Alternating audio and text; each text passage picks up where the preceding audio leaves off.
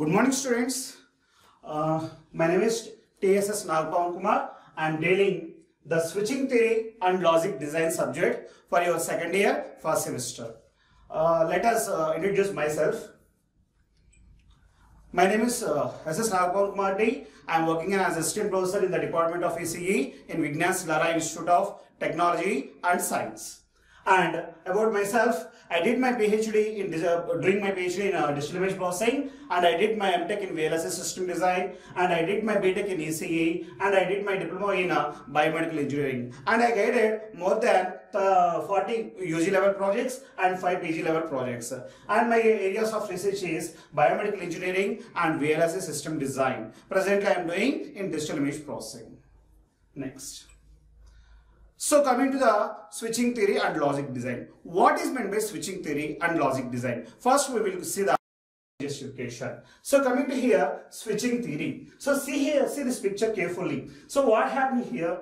So when the switch is in the off state, there is no glow in the bulb. So when there is a switch is on the state, then there is a glow in the bulb. That is on condition, off condition. The on condition I am representing 1, the off condition I am representing 0. So here we have two types of operations. So the first one is off condition off I am representing as 0 and on I am representing with 1. So here I have here I have only two condition that is off condition second one is on condition so this is the switching operation switching means on and off only two situations are here here we have in the switching operation next coming to the logics for example why we are using for switching so switching for on and off of light or fan or on and off TV or any different types of application. So for light we have on and off operation. For fan we have on and off operation. For TV we have on and off operation. For AC we have on and off operation. All the devices are operating with on and off conditions that is the switching operation is same but different types of logics here we have AC logic TV logic fan logic like we have different types of logic so so we have multiple logic so our subject name is switching theory and logic design by using switching theory we have to develop uh, different types of logics so that is our subject title right next coming to the objectives of our course so here the first objective so to solve a typical number based conversion and analyze new error coding technique that is uh, coming to that switching operation we have different types of switching operations uh, and our branch is electronics and communication engineering in our electronics and communication we are designing different types of electronic systems so that is we are operating with the systems with the, we are operating with some machines so for the machine purpose we have different types of number systems so in the first objective what it says we have we are, we are going to learn different types of number systems and we will see the conversion from one number system to another number system this is the first objective next coming to the second objective so after conversion of this number system, we have some of the basic arithmetical and logical operation. So this Boolean algebra and this logic gates, they will provide some of the arithmetical operations and some of the logical operations. That is the second objective. And third objective, what we are going to learn in the third objective is to optimize the logic gates for digital circuits using various technique. Okay, so whatever the function we require, here we have some of the basic operation. With the basic operation, some of the problems so we will see some of the digital circuits and how they will design by using logic gates how they will design by using logic gates this concept we will this uh, this type of activity we will see in this third course objective and coming to the fourth one boolean function simplification using Karnaugh maps and mc Queen klasky methods so when you are writing a function you will get a big size functions for example if you have three inputs you will get a small size equation if you have 100 inputs, you will get a big number of uh, uh informations, big lines of uh, code you will get. So the, that big size of code may be uh, one type of loss in the designing or fabrication of the system. Why? Because it requires huge amount of power. It requires more amount of time to compute the operation. So for that reason, we have to reduce that uh, size of the system without changing any input, any changing output. Okay, in the output, we have to reduce the size of the system. That is the very, very, very important activity. For that reason, we are using Karnaugh map method and we are using Quine McCluskey method. By using these two methods, we are reducing the size, but we are not changing the system functionality. That is the very, very important. And next, these two are very, very important objectives. Why? Because these are the basics and these are the final, our course objectives for designing any type of digital system. So any type of digital system is consists of two types of circuit. So the first one combinational circuit, the second one sequential circuit. So coming to the first one, to understand the concepts of combinational circuit, first you have to understand what are the different types of basic combinational circuits are available in the digital circuit. That is very very important. Next coming to here, by using these combinational circuits, we will design different types of sequential circuits. So our target is to develop advanced sequential circuits is to develop different types of sequential circuits by using all these remaining course objectives. So these are our course objectives. We will see clearly these objective details in the coming classes. Okay, next. So coming to our first unit. So our first unit uh, is nothing but as review of number systems and codes. This is a, our first unit title, review of number systems and codes. So coming to the syllabus of this first unit, this is the first, uh, I have divided this complete uh, unit into three parts. The first part, review of number system, second part, 4-bit codes, third part error detection and correction codes this is the first part and second part third part for the uh, the first part it will take uh, 5 to 6 classes and the second part it will take 1 to 2 classes and third part it will take uh, 3 to 4 classes 3 to 4 classes okay so on completion of, uh, completing this uh, uh, first unit we required nearly 10 to 14 hours, 10 to 14 hours we require. Coming to the first part. So the first part, review of number system. In this, representation of numbers of different radix and their conversion.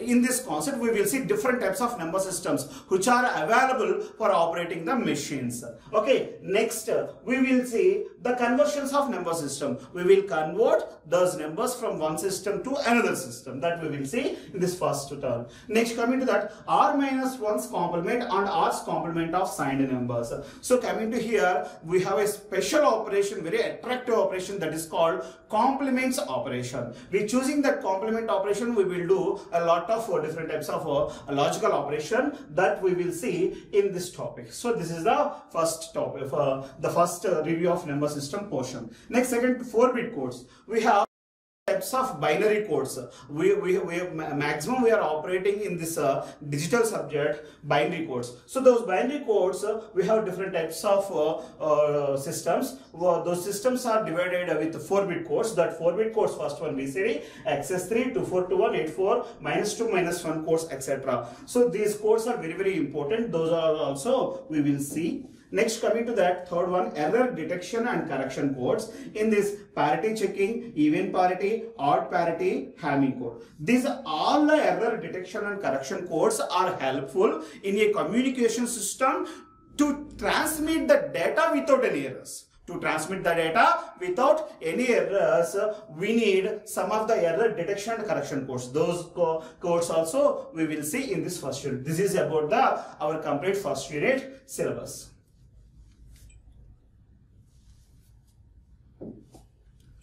Next.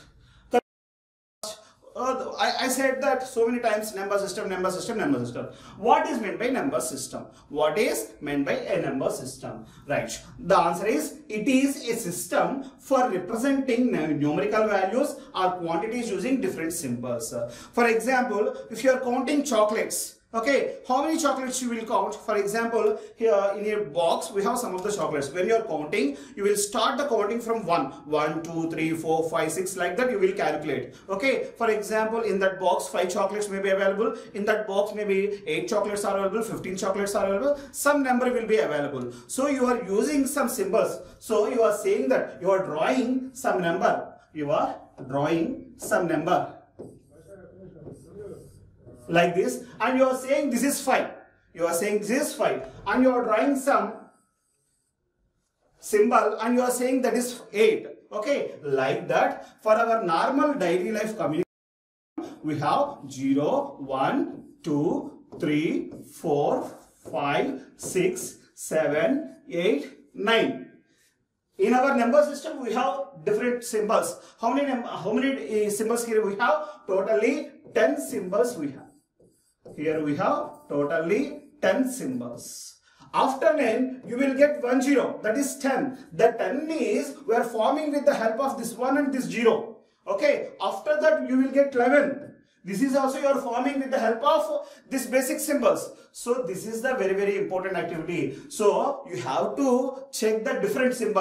Uh, they will not repeat uh, again. Okay. So totally you have 10 different symbols. This is our normal number system for counting purpose or for doing daily activities, whatever it may be. Here you are using this number system. This is called decimal number system. So our basic number systems are is nothing but as decimal number system we know already we are using in our uh, daily life. Next coming to that binary. So generally binary number system is called machine level uh, number system. So in this binary number system we have 0 and 1 we have only 0 and 1. Only two types of uh, numbers are available 0 and 1. So for that reason I am represented I am using here two different symbols.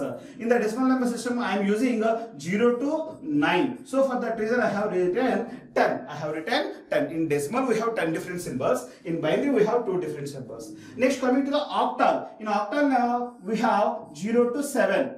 0 to 7. 0 0, 1, 2, 3, 4, uh, 5, 6, 7. We have up to 7 only. There is no 8, there is no 9. There is no 8, there is no 9 in this octal number system. This is very, very important that we will discuss deeply in the coming classes. Next, coming to hexadecimal, we have 0 to 9. After when you will get A. You don't get 10, you will get A. Next B, next C, next D, next E, next F, after that, you will get 10. After that, you will get 10. So this is the hexadecimal system. See here, 0 to 9, we know that 10, 11, 12, 13, 14, 15, 16. Totally, you will get 16 different symbols in this hexadecimal system. Those details we will see. Those details we will see clearly in the coming classes. Right. Next. So I said that uh, in our in my lecture so many times. Uh, so digital, digital, digital. Okay. So what is meant by a digital digital signal? In in the in our uh, electronics and communication branch, we have majorly two types of signals. The first one analog signal, second one is digital signal. Our subject is completely focused on the digital signals only. So we are focusing on this so we are completely focusing on the digital signals. We are not focusing on this analog signal. Our subject is mainly concentrating on the digital signal, not analog signal. But if you want to know the digital signal, if you want to know the digital signal, you have to understand the operation of analog signal. So our voice is an analog signal. So almost all whatever the information, voice signal or maybe any feeling or for example, the cold air you are feeling, the hot temperature you are feeling, each and every information in this uh, nature is analog only. You are converting that information into digital. So the analog signals are seems to be like this. The digital signals are seems to be like this. I have mentioned here, see here, analog signal, digital signal. The analog signal is, seems to be a continuous signal, but the digital signal seems to be as a, some discrete information. Here is information is available, here information available. In between there is no information. That is, this is a, it has a continuous response but it has some discrete response. Discrete response, say have written analog system. The physical quantities or signals may vary continuously over a specified range. For example, this is 0 and this is 10. In between this range, in between this range, we have the continuous information. So, in the same way, I am defining the digital signal also in, in between a range. There is no continuous information. There is completely discrete information. So, here, the digital system, the physical quantities or signals can assume only discrete values. It has a greater accuracy it has very less accuracy. How this accuracy is changing? I said that this is poor accuracy and this is the greater accuracy that we will see in the coming class. Next. So this is an analog signal. So this analog signal I am converting into digital signal. This is the concept of evolution of digital signal. How you will get the digital signal from analog signal. Uh, this is completely a subject called uh, some digital communication that you will get in the third year. Presently just I will uh, give the rough overview how to convert analog signal to digital signal. So this is a complete analog signal. In this complete analog signal, I have taken some period of times I am taking here some period of times.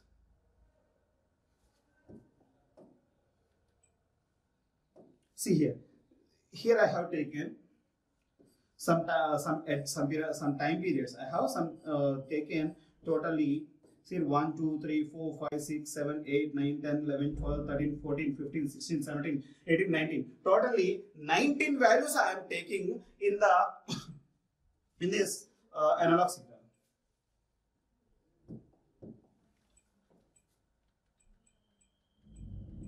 So in this analog signal, actually here we have continuous of information. Infinite uh, info, uh, values are available in this continuous signal. But in the discrete signal, I have taken only 19 values. I have taken only 19 values. Now I have removed that analog portion. Now I have taken the signal in this fashion. In the signals for our uh, understanding purpose, uh, I am taking any one of the value. Here I am taking the value of this one. Here for example, 6 volts is available. So the six words I have to write in the digital information. I have to write into the machine level language. So for that reason, I am using a number system called binary. Here I am using a number system called binary. This is the binary number system and this is the decimal number system. Okay, decimal number system is nothing but as our normal 6. I said that machine level number information system that is called binary that is 0, 0 So 6 equivalent number is 0, 1 0, 0 So this is the binary print. How this number will uh, we got we got. So that we will see in the next class only. Right? Next. So coming to here, that 6, 1 0, we are writing in this way. 0, 1, 1, 0. 0 means, see here, this is a uh, this is the graph we are representing here. On the x-axis we are representing time and here the, on the y-axis uh, we are representing the voltage. This is the voltage and this is the time. So here the for example coming to here this is 5 volts and this is 0 volts. Here, here I have mentioned this information. So see here, I have drawn the signal here 0 volts. 0 I am representing with 0 and I have representing with some 5 volts. This is logic 1. This is also 5 volts, no, some logic 1 and this is 0. So zero, one, one, zero. So the whatever the information here we have, that is we are representing with signal in this way. So this is the signal called digital signal. This is the signal called digital signal right? So this is one more example of digital signal. This is one more example of digital signal 1 0 1 0 0 0 0 1 0 1. In this way, we have different types of digital signals. So coming to the digital signal, the logic 1, the logic 1 and logic 0 here we have. So the logic 1 is generally we are representing as 5 volts. And logic 0 in generally we are representing as 0 goes. Okay, so the complete details we will see in the coming classes. Right, so in the next class, we will start with the uh, concept of number systems. Okay, so the decimal number system, binary number system, octal number system, hexadecimal system. What is these four number systems and how to represent the numbers uh, of these four number systems in a general way that we will see in the coming classes. After that, we will see the conversion of number system. That is, uh, a number will be available in the decimal system. What is the equivalent number in the binary? Uh, what is the equivalent number in the octal? What is the equivalent number in hexadecimal? That we will see in the coming classes. Okay, thank you. Thank you very much.